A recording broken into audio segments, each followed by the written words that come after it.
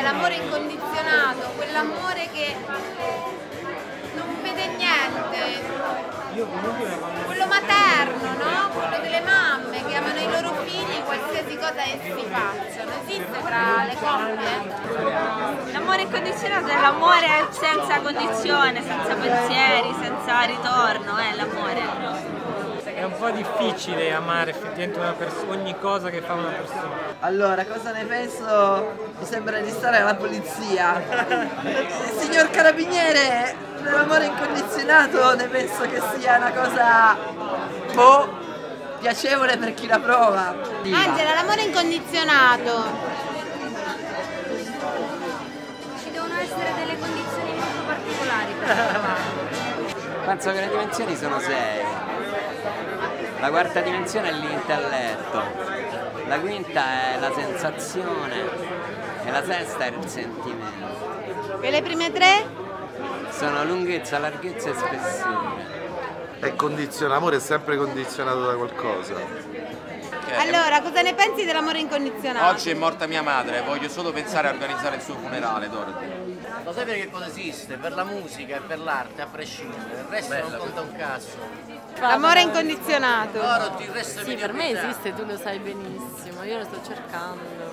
Cioè, accetteresti anche il tradimento? Non lo so. Può essere, dipende. Però appena parli di amore incondizionato, dico appena parli di amore incondizionato ti vengono subito in mente le cose. Come mai? Non lo so. Dorothy, l'amore è un furto. Hai capito? Cosa vuol dire? Che si vampiri, si ruba il sangue alla gente. Basta. Basta con l'amore. Deve rispecchiare i valori base che ho anch'io. Quindi è, l'unica condizione è a monte, cioè ci conosciamo e poi ti do amore. Però- se però io per amarti devo conoscerti, è importante che prima di arrivare a scoprire l'amore, io devo conoscermi, ovvero vedermi veramente. Nel senso non si tratta di, di negare i difetti dell'altra persona o di, non, eh, o di non vederli, no? Si tratta semplicemente di capire, per, riconoscere per quello che sono.